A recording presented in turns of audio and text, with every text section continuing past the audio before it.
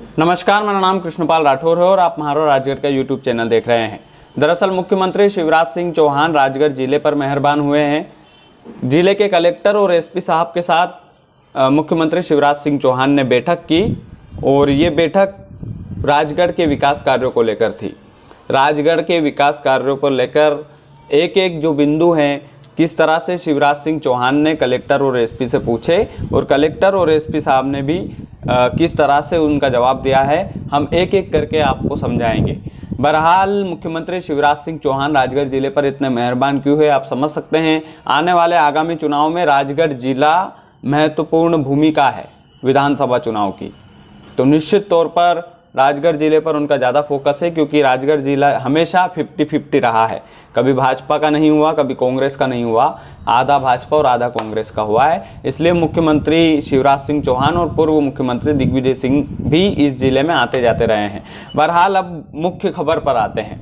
मुख्यमंत्री शिवराज सिंह चौहान ने सबसे पहला जो सवाल पूछा, वो था कि प्रधानमंत्री आवास योजना में कितने लोगों को लाभ मिला है? और कितने लोगों को लाभ मिलने वाला है और कितने लोगों के घर बन चुके हैं। कलेक्टर ने इसका पूरा आंकड़ा मुख्यमंत्री शिवराज सिंह चौहान को दिया और उन्होंने बताया है कि इतने घरों को लाभ मिला है, इतने घरों को नहीं मिला है और इतने घरों को मिलने वाला है। वो जो आंकड़े उन्होंने बताए हैं, वो सरकारी आंकड़े हैं। अब हकीकत में मुख्यमंत्री भी नहीं समझते होंगे और हकीकत में हम सब समझते हैं क्योंकि हम ज़मीन पर रहते हैं। तो आप भी जानते हैं कि गरीबों का हक प्रधानमंत्री आवास योजना में छीना गया है। तो वो जो हक है वो कब लौटेगा साहब? आप उसकी धरातल पर जाँच कब करवाएँगे ये तो पता नहीं। बहरहाल, आंकड़े ज़रूर उन्होंने कलेक्टर साहब ने बता दिए हैं। दूसरा सवाल था पेयजल को लेकर कि पीने के पानी की व्यवस्था क्या है राजगढ़ में? तो कलेक्टर साहब ने जवाब देते हुए कहा कि बाकी तो सब चकाचक है, कोई दिक्कत वाली बात नहीं है। केवल ब्यावरा तहसील में परेशानी है पानी को लेकर और उसको भी लेकर उचित प्रयास किए जा रहे हैं। मुख्यमंत्री ने ये दिलासा देते हुए कहा कि आप ब्यावरा तहसील के लिए पानी की उचित व्यवस्था करवाइए ताकि हम आने वाले समय में ब्यावरा तहसील को पानी की कमी महसूस ना होने दें। जो भी शासन की तरफ़ से मदद लगेगी, वो हम करेंगे। ये मुख्यमंत्री की अच्छी बात थी।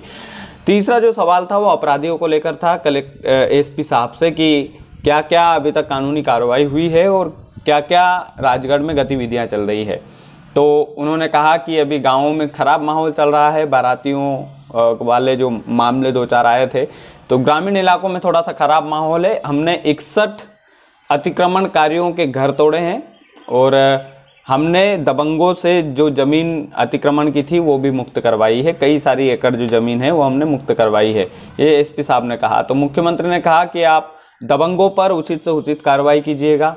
दबंगों पर बिल्कुल भी रहम मत खाइएगा। जो गुंडा, बदमाश, दादा लोग हैं, जो लोगों को डराते, धमकाते हैं, उन पर बिल्कुल रहम खाने की ज़रूरत नहीं है। उन पर तत्काल प्रभाव से कार्रवाई कीजिए। हमारी तरफ़ से आपको फुल, खुली छूट है। इसके अलावा एक पॉइंट था आंगनवाड़ी को लेकर। तो बोला गया कि आंगनवाड़ी की तरफ़ रुझान बढ़ाने के लिए आप क्या कर रहे हैं? तो कलेक्टर साहब ने जवाब दिया कि इसमें हमारे सांसद साहब भी प्रतिभागी हैं, वो भी आंगनवाड़ियों को गोद ले रहे हैं। तो मुख्यमंत्री ने कहा कि आप, ज़रूरी नहीं है कि आप बहुत सारी आंगनवाड़ी गोद लें, एक या दो ही आंगनवाड़ी गोद लें, ताकि उनको आप अच्छे से बनाएँ। लेकिन उनको आप अच्छे से चमकाएँ, ताकि जो गरीब बच्चे हैं, उनको अच्छे से सुविधा मिल सके और लोगों का भी रुझान आंगनवाड़ी की तरफ़ हो। अब सबसे महत्वपूर्ण बात उन्होंने कुंडालिया और मोहनपुरा को लेकर कही कि हमने ये सौगात राजगढ़ वासियों को दी। और राजगढ़ वासी को इसलिए दी क्योंकि मुख्यमंत्री शिवराज सिंह चौहान ने इस केंद्र की योजना को अपना बताते हुए भी ये बात कही है कि हमने इस योजना को दी है और ये इसलिए दिया है ताकि राजगढ़ के किसानों को लाभ मिल सके। और राजगढ़ मेरा बहुत पसंदीदा ज़िला है, ऐसा भी उन्होंने कहा है। राजगढ़ मेरा आकांक्षी ज़िला है। राजगढ़ से मेरा लगाव बहुत ज़्यादा है। तो ये इतना जो मेहरबानी जो मुख्यमंत्री शिवराज सिंह चौहान की राजगढ़ ज़िले के उमड़ रही, के लिए उमड़ रही है, इसको लेकर आप समझ सकते हैं कि क्या वजह हो सकती है।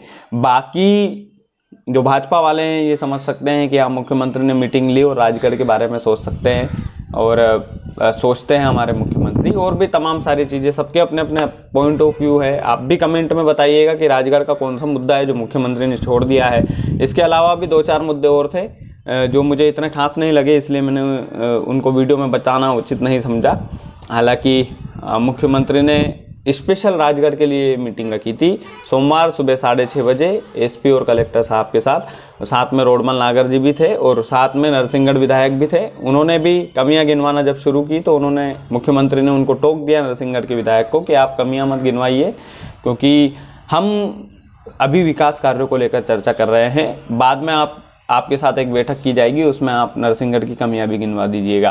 तो ये तमाम सारी चीज़ें हैं। नरसिंहगढ़ हालाँकि राजगढ़ ज़िले का अ, नहीं मध्य प्रदेश का कश, मिनी कश्मीर उसको माना जाता है। तो पर्यटन के मामले में उस उसमें सुधार की ज़रूरत है और सुधारा जा सकता है।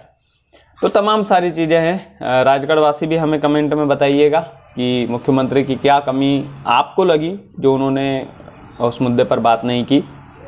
राजगढ़ वासी ने चैनल अगर सब्सक्राइब नहीं किया है तो कर लीजिएगा क्योंकि आपका अपना चैनल है आपकी बदौलत चलता है। तो राजगढ़ वासियों आपका तय दिल से शुक्रिया आप लोग इतना प्यार दे रहे हैं इस नए चैनल को नए युवा को और आगे बढ़ाने में हमारी मदद कर रहे हैं।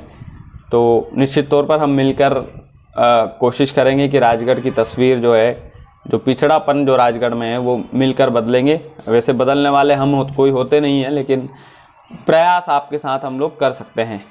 अब, वीडियो को अंत तक जिन्होंने देखा, उनके लिए खुशखबरी ये है कि हम राजगढ़ के साथ अब इंदौर में भी लॉन्च होने जा रहे हैं और यही चैनल राजगढ़ के साथ इंदौर को भी कवर करेगा। और इंदौर अपना नज़दीकी ज़िला है। इंदौर से राजगढ़ वासियों का लगाव भी है, क्योंकि जो भी व्यक्ति राजगढ़ में रहता है, उसका बेटा या जो युवा है, वो अधिकतर लोग इंदौर में रहकर पढ़ाई करते हैं अधिकतर लोग।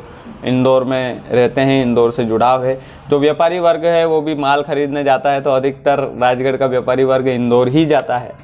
तो इंदौर की कुछ स्पेशल खबरों के साथ शुरुआत करेंगे। हम खबर नहीं बताएँगे स्पेशलिटी बताएँगे इंदौर की, कुछ कमियाँ बताएँगे, क्योंकि अभी तक तो इंदौर में सब कुछ चकाचक बताते हैं लोग।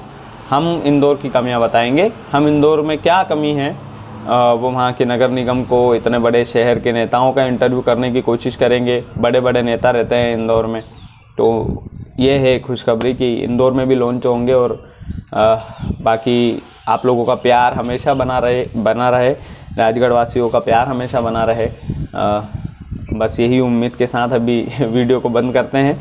बाकी मुख्यमंत्री ने जो कमिटमेंट की है मुख्यमंत्री शिवराज सिंह चौहान ने जो बोला है उसमें आप लोग कहाँ तक सहमत है? क्या क्या आपको कमियाँ लगती है, वो भी ज़रूर बताएँ। कोशिश कीजिए ताकि हमें भी पता चले कि हाँ भाई, ये कमियाँ हैं, ये नहीं है। तो ये सुधार होने चाहिए और ये नहीं होने चाहिए। तो ये जो चीज़ें हैं, ये आप लोगों की ज़िम्मेदारी है, आप लोग भी बताएँ। तो बहरहाल, चैनल को सब्सक्राइब नहीं किया है तो कर लें ताकि आने वाले समय में आपको राजगढ़ की इसी तरह की खबरें मिलती रहे। आपका अपना चैनल है, सपोर्ट ज़रूर कीजिएगा। नया युवा है राजगढ़ को बदलने की कोशिश कर रहा है और खिलाफ में तो कई सारे हैं तो कोई दिक्कत वाली बात नहीं है, चलता रहता है। बाकी चैनल को सब्सक्राइब कीजिएगा। बहुत बहुत धन्यवाद।